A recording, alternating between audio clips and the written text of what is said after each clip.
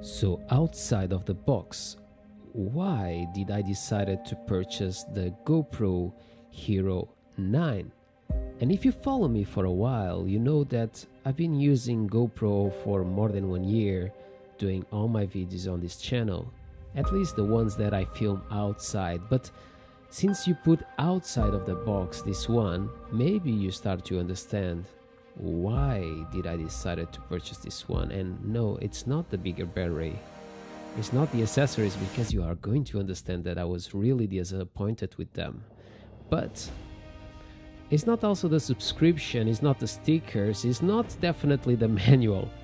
But there is big reasons behind my purchase and why I think that this camera can make your life much easier. It's inferior to the GoPro Max in many things, but let's just put the battery inside this camera and see a little bit close what is my first impressions outside of the box of the GoPro Hero 9.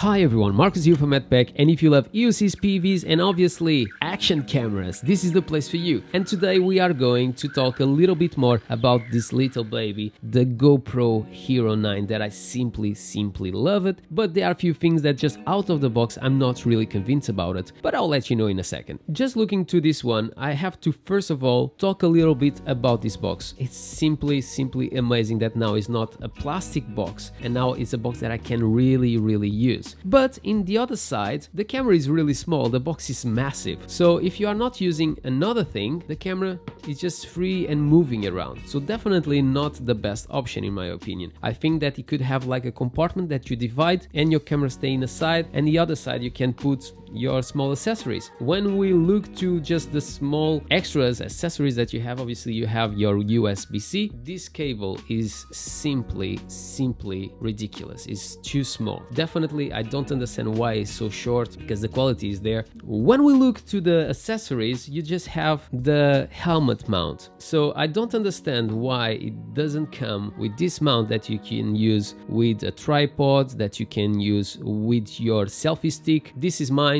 but I would like to have seen that. You could even get this one through GoPro for 279 plus one year of um, insurance. But in the end of the day, the insurance from GoPro is simply horrible, to be completely honest. I almost purchased there, but if you purchase the GoPro from them and you have obviously the subscription, if you break your camera, you'll have to pay $99 to replace it. So another thing that you need to consider when you are going to do subscription, because for example, I just purchased through Amazon and I get three years warranty in the same time. I don't pay anything. So if something goes wrong with my camera, they replace it for a new one. And if that happens, the warranty will finish and I have to restart a new one. If it's something that they can repair, they will send me back the camera and my warranty will continue. Because of that, it doesn't make any sense to purchase the subscription from GoPro. So sorry GoPro, I'm not really convinced with that. The form factor I really like. I really like the fact that now the um, battery it's bigger. So definitely something that I'm really really happy about it. This is so tight the way that it opens and closes that is something that was much easier to open on the GoPro Max and I really like the fact that now the battery is bigger because the old batteries from GoPro you don't have a lot of time so you always have to do very very short videos. If you are going to film for a long period of time normally they run out really really fast and now you have this possibility the access to the memory card continue to be exactly the same that you are used to see in GoPros but I really like this door. Is really easy to open and close when you get used to.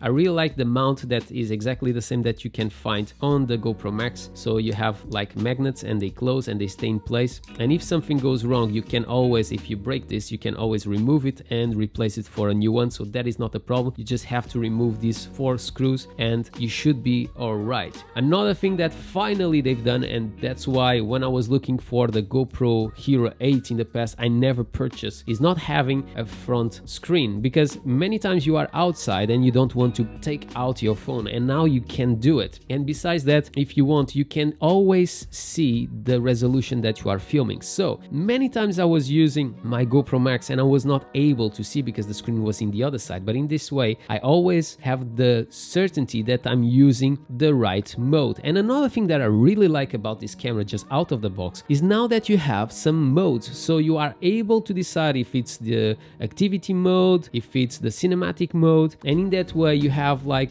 a quick settings that you can just swap around. Another thing that I saw on this camera that I was really, really excited since I take it out of the box is the zoom feature. And I thought, whoa, if I have a zoom feature on this camera, I could do some dolly zoom straight away through the camera and I don't even need to do it through Final Cut Pro. But in the end of the day, I can't because when you slide the zoom after when you press record you can change it. Another thing that I was just, and I am a bit disappointed, is how difficult is to take out these covers. I understand that they have to be very, very tight for the waterproofing, but it's really, really difficult to rotate and swap. I would love to have seen like some grips here on the sides that will help to rotate because like this is very, very slippery. So something that I'm not really convinced about it. Another thing that I really like about the GoPro Hero 9 is the microphone because when you are filming outdoors, I always recommend to everyone use their own microphone, not the one that is on the camera. But if you go out with some friends or if you are doing something and you want the background noise, it's good to have a decent microphone on your GoPro. Another thing that I really like on this one is the LED recording. So when you look to the GoPro Max, it was something that I was never really sure when you are outdoors if it was recording or not. And another thing that I really like is the fact that that LED is in both sides so I don't have to look to a specific side of the camera to be sure that it's recording. And normally with this one, you'll be looking through the front part and the LED on this is massive. So definitely a plus that you have with this camera. This camera comes with 20 megabytes, that's good,